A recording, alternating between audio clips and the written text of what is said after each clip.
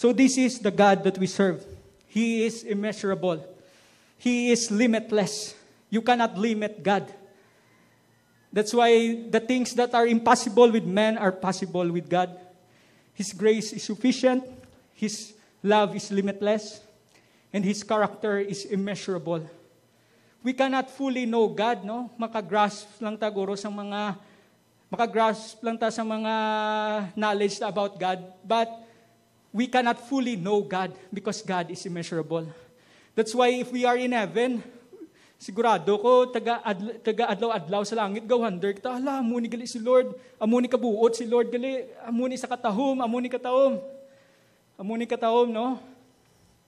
That's the immeasurable grace of God. Tamaan katahom and we cannot fully know it. We cannot measure it because it is immeasurable because his goodness is limitless his love is limitless his faithfulness never ceases the steadfast love of the Lord never ceases.